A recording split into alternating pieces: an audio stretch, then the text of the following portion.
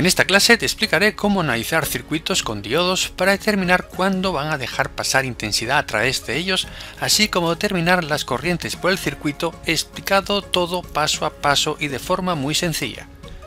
Mi nombre es Aurelio Cadenas y sin más, esto empieza ya. Bien, nuevo ejercicio con diodos para que veas cómo trabajar con ellos. En este caso tenemos este circuito con dos diodos, ¿vale? Los dos diodos vamos a suponerlos ideales, por lo tanto, si están polarizados directamente, van a conducir y la tensión en extremos de ellos van a ser cero, ¿sí? Bien, ¿cómo proceder cuando tenemos dos diodos? Pues exactamente igual, vamos a calcular las corrientes que circulan por los diodos. Vamos a coger aquí el set de lapiceros y vamos a calcular la corriente por este diodo, ¿sí? Y su D1 y la corriente por este diodo y su D2, ¿sí? Eh, este diodo, para calcularlo, tendré que aplicar la ley de corrientes de Kirchhoff ahí en ese nudo A, ¿vale? Y por lo tanto, necesito saber la corriente que va a venir por aquí, que llamo I su 1. La corriente I su 2 será la misma que va a circular por aquí, ¿vale? Bien, pues planteemos ecuaciones y vamos a decir que el circuito que tenemos, eh, el circuito que tenemos es este, ¿vale? Este circuito, este circuito que estamos considerando que los diodos me están conduciendo. ¿sí? Entonces está un K, un K, 4 voltios, 8 voltios, aquí tenemos la tensión U sub E, ¿sí? por aquí la corriente del diodo 1, por aquí la corriente del diodo 2 y por aquí la corriente que voy a llamar I sub 1. Bueno, pues entonces como dije, aplicando la ley de corrientes de Kirchhoff en este nudo A, ley de corrientes de Kirchhoff en el nudo A, escribimos suma de las que entran y su 1 igual a las que salen, y su D1 más y su D2. Bien, corriente I 1. La corriente I 1 es la tensión que tengo en esta resistencia. ¿A quién será igual la tensión que tengo en esta resistencia? Bien, muy fácil tomamos este nudo como referencia y decimos la tensión en esta resistencia será la tensión que tengo aquí, que son 8 voltios, menos la tensión que tengo aquí, que es U sub E, y dividido de un K. Y su D2. Y su D2 exactamente igual. Será la corriente entra siempre por el terminal positivo, o sea, tendremos esa polaridad así, será la tensión que tengo en este punto. ¿Quién es esta tensión? U sub E. U sub E menos la tensión que tengo en este punto. ¿Quién es? Pues la pila de 4 voltios. 4. Partido también de un K. Por lo tanto, I sub 1 e I sub 2, lo, I sub de 2 lo sabemos. Vamos a calcular I sub de 1. I sub de 1 pues será I sub 1 menos y su D2. Y su 1 es esto, 8 menos U sub E partido por un K, menos y su D2, U sub E menos 4 partido de un K.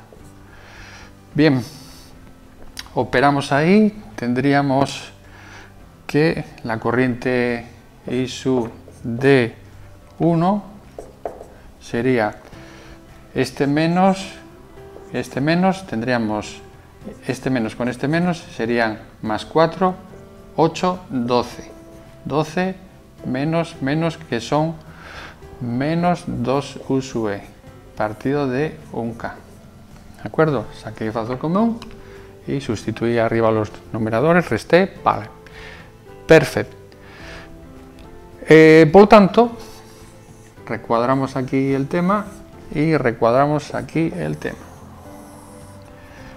Vamos a decir que para que el diodo D1 conduzca D1 on, si se cumple que esta corriente y su D1 es positiva. Para que esta corriente sea positiva, tiene que ser mayor el numerador de 0. Por lo tanto, 12 menos 2 U E mayor que 0. ¿Sí? Uséase que 6 Esto pasaba aquí. ¿eh? Vale.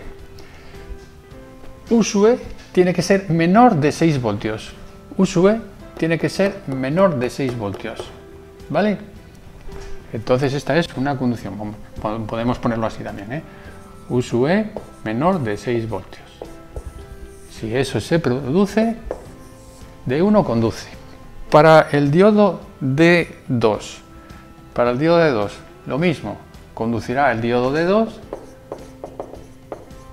si esto es positivo, es decir, U sub E menos 4 es mayor que 0, es decir, U sub E es mayor que 4 voltios. ¿Vale? Por lo tanto, por lo tanto, vamos a establecer aquí un eje donde la tensión U sub M está variando entre menos 12 y más 12. Entre menos 12 y 12. Esto representa la tensión U E en voltios. Y aquí voy a representar la tensión de salida, por ejemplo. Tensión de salida. Bien. Cuando la tensión sea menor de 6, cuando la tensión sea menor de 6, es decir, en todo este intervalo, desde aquí hasta aquí, cuando sea menor que 6, D1 conduce. Entonces ahí pondríamos D1 on. Evidentemente, cuando sea mayor que 6, el diodo D2 perdón, el diodo D1, el diodo D1 no va a conducir. ¿Sí? Otra condición. El otro intervalo. El otro intervalo. Eh, de D2, mayor de 4. 4. Aquí está. 4 voltios. ¿Qué va a ocurrir? Si es mayor de 4, el diodo 2 on. Vale, pues mayor de 4, todo este intervalo, el diodo de 2 on. Y si es menor de 4, evidentemente no va a conducir. De 2 off. Bien, pues entonces voy a empezar desde menos 12 hasta el primer cambio que sería este. En ese intervalo, desde menos 12 hasta 4. ¿Qué está sucediendo? El diodo de 1 conduce y el diodo de 2 no conduce. ¿Qué circuito voy a tener? ¿Qué circuito voy a tener? D1 on, D2 off. El circuito que voy a tener es esto está abierto, la tensión de salida son 4 voltios. Facilísimo. ¿Eh? U sub S, 4 voltios. ¿Vale? Entonces, en todo este intervalo, en todo este intervalo, la tensión de salida son 4 voltios. Entonces lo voy a dibujar así en color rojo hasta ahí. 4 voltios. ¿Vale?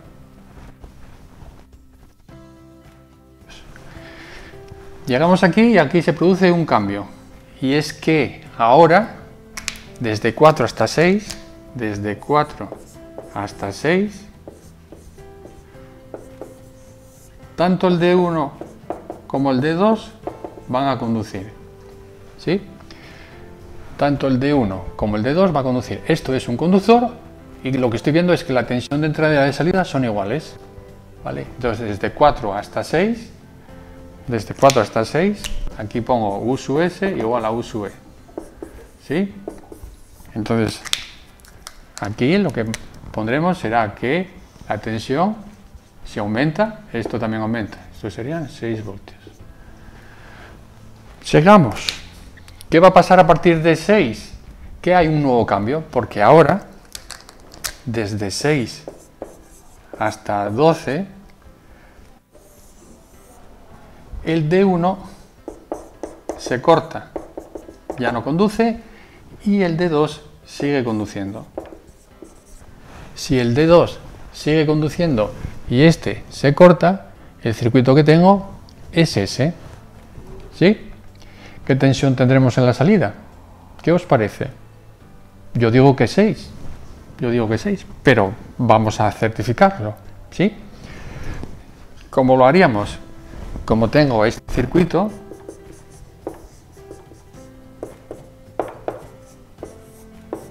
¿vale? Esto está ahí desconectado, ¿eh? la USUE está desconectada. La tensión de salida por Milman sería 8, 4, 1, 1K, 1K. Sería 8 partido por 1K más 4 partido por 1K, 1K más 1K. Y eso sale 8 y 4, 12. Partido por 1, bueno, los unos chu, chu, chu, chu. Tendríamos 12 partido por 2, 6 voltios. ¿Sí? Pues nada, lo que decíamos. ¿eh? Esto, constante, 6 voltios. Y tengo el ejercicio resuelto, porque lo que estaba buscando es la función de transferencia o la relación que hay entre la salida y la entrada para este intervalo de valores de USUE.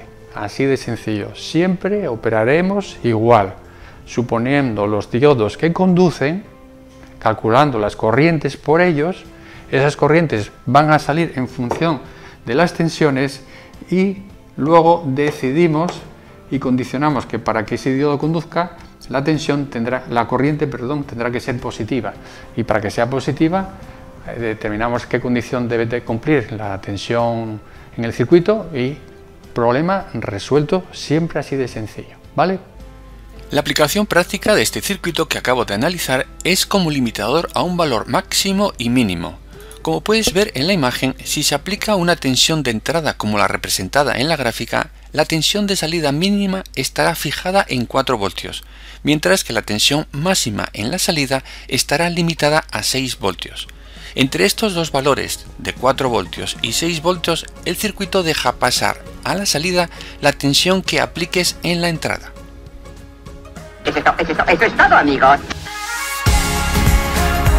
Bueno, gracias por tu atención hasta el final del vídeo, espero te haya gustado, si es así por favor dale al me gusta, pulgar arriba y si no quieres perderte ninguna clase, suscríbete a mi canal a cadenas y no te olvides de activar la campanita para que YouTube te avise cada vez que suba un vídeo.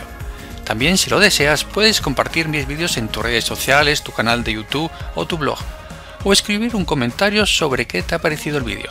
Gracias y hasta la próxima.